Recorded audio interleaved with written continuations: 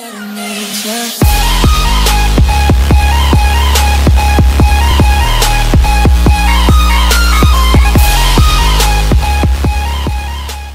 guys, it's Skaterr here, and today guys, I basically need your help. I've been using Rockstar Editor lately, making machinimas, but I didn't post them, but I really want to use Rockstar Editor more often, but I have no ideas, like, I don't know if I should do like a series of machinimas or like short films once in a while. I did one of Michael, I'll put that on screen somewhere, basically, me just testing it out. I think I did a pretty good job on that one, but I want to do more. But I need your guys' help. So you guys think you guys could put in the comments below and maybe give me some ideas or maybe if you want to star in it or anything like that.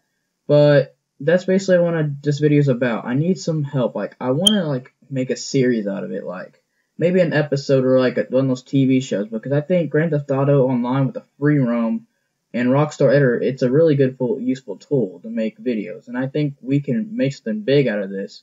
I just wanted to know if you guys have any ideas, so if you do have any ideas, make sure to put in the comments below, and that's what I want to talk about today, guys. Remember, guys, to keep it solo. Signing off.